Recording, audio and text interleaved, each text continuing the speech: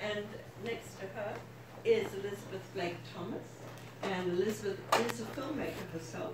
She produces, writes, directs, does everything. Elizabeth? Hi, I'm Elizabeth and this is Chai. And um, we run a company called Mother Daughter Entertainment. I'm the resident director there and I raised one and a half million dollars and shot seven features in three years. I'm shooting in three weeks' time my next feature that I'm self-funding, but I've created a, a, rather unique business model allowing me to do that and also make money, which is uh, quite fun. So then I can put that money back into my next projects. I love speaking on these panels. I'm open to any questions uh, because I consider myself to be quite unique in everything that I've done in such a short space of time.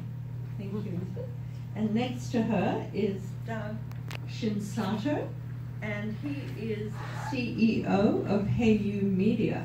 Um, and Doug, would you like to? Do, uh, Doug's done a lot of things, but um, my first comment is that unlike Karen, I am a non-practicing lawyer. So oh, I didn't realize that.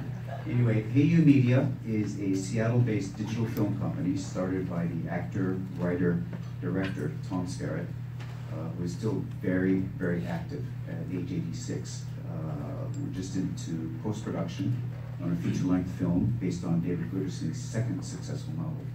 As you probably remember, David Guterson wrote a multi-million uh, seller uh, in Snow Falling on Cedars.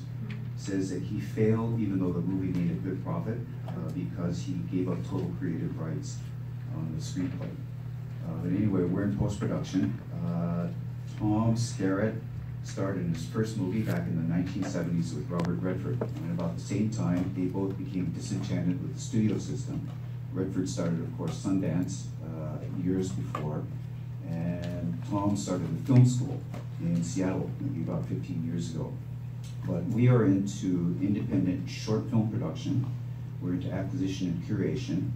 Uh, we haven't made an announcement yet, but uh, two weeks ago we signed what we think for us is a major deal with Sinclair, Sinclair Broadcasting. So we're going to be launching two channels early next year.